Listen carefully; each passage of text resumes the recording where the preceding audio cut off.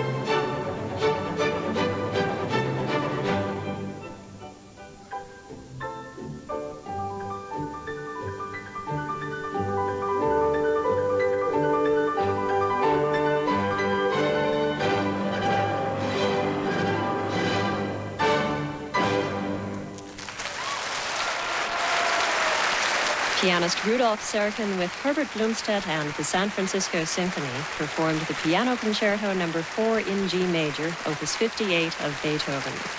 Mr. Serkin joins the orchestra tonight in celebrating its 75th anniversary. He shakes hands with concertmaster Raymond Kobler and associate concertmaster Georgia Plizanis.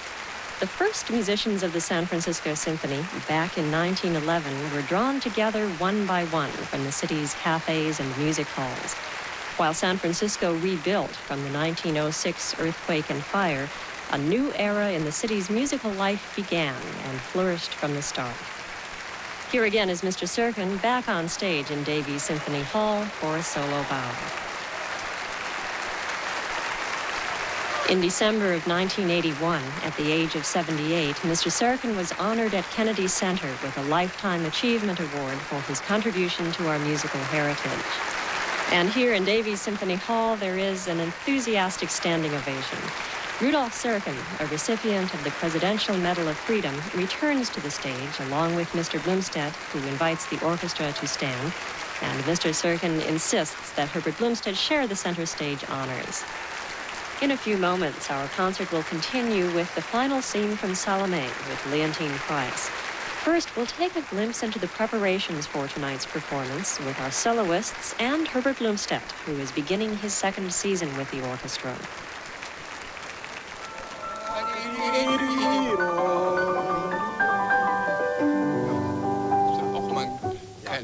Ja, denn hier habe ich das Ganze in der Hand. Every new soloist contributes uh, new aspects of the work. It's not that uh, Mr. Arrau or Mr. Brendel or Mr. Serkin brings some very sophisticated ideas to end the trill in a new way or to change a note here or convinces the conductor and the orchestra that uh, the F sharp that has been played for 100 years in this part is wrong, it should be F natural.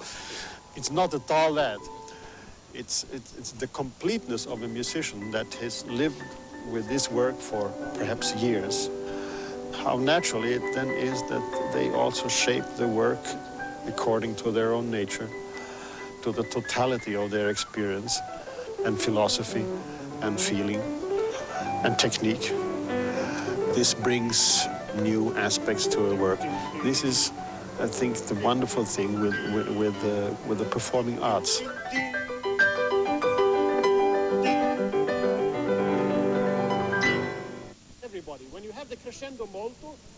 I am just starting to know uh, my players.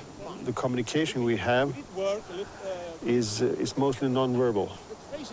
It's more uh, attitudes and, of course, gestures. I always marvel at, at how the clever musician, the gifted musician, is able to read in the body language that uh, varies so much from conductor to conductor. There's a, a wonderful give and take uh, when uh, we make music together.